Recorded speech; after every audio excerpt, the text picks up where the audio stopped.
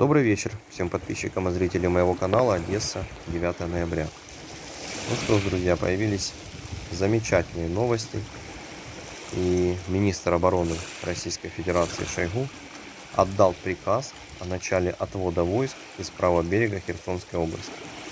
Так что, дорогие украинцы, Херсон возвращается домой.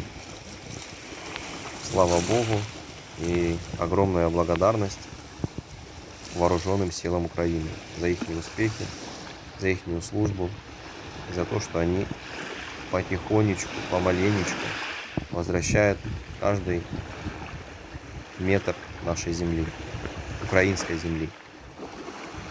Э, Суровкин, я не знаю, кто он, генерал, если не ошибаюсь, доложил министру обороны, что город Херсон и прилегающие населенные пункты не могут снабжаться и функционировать.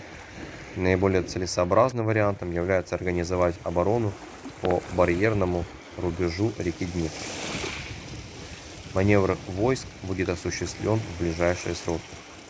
Напомню, много информации появлялось и ранее. Сегодня тоже появилось о том, что э, в Херсоне везде поснимали российские флаги.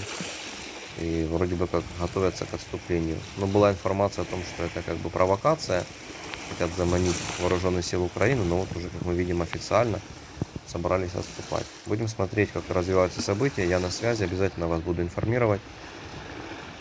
Но верим, верим в то, что Херсон скоро снова, снова будет нашим, снова вернется в Украину. До встречи, друзья, всем пока.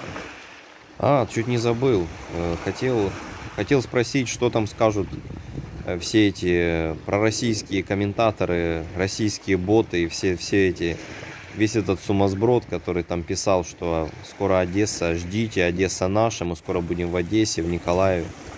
Ну и где, где вы? Вы не то, что до Николаева не смогли дойти, вы уже даже с Херсона бежите. Вот так вот.